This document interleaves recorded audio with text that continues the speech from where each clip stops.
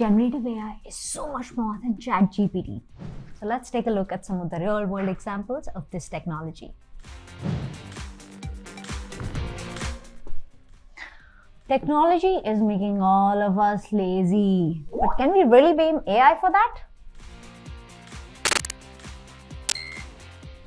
From being afraid that AI might take over the world to confidently evolving AI capabilities, we have come a long way especially this year, where we are expecting a lot of real world applications that use generative AI.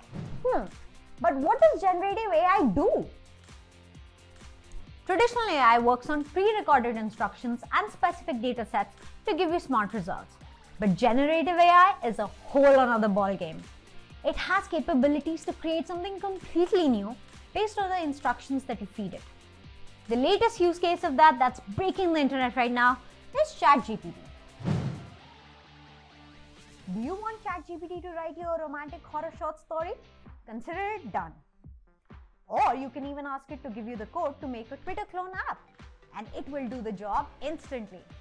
And that's not all. We're talking AI generated faces, artworks, videos, and poems you see trending on social media. It all can be done with generative AI. And as of right now, we've barely scratched surface with generative AI. There is so much potential in this technology, it's insane.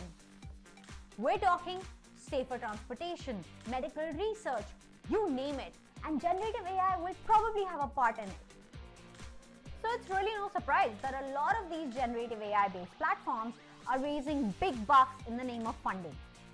Runway, for example, an AI-based video editing tool, was able to raise $50 million in funding, raising its valuation to $500 million. Then you have Jasper AI, a copywriting tool which was able to raise $125 million in its first ever round of funding. Ready or not, generative AI is here to stay. So master as many tools as you can and brace yourself for some unexpected surprises in AI that might just change the world forever.